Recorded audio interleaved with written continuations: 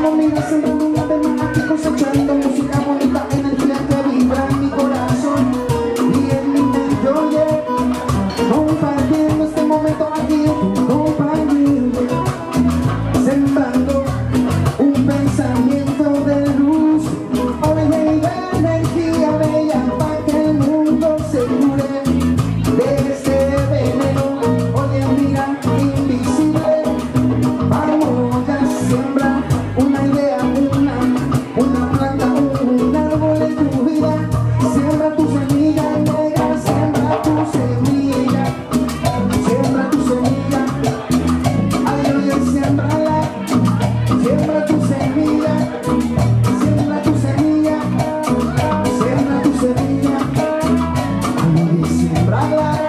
siembra tu semilla, fue ganando.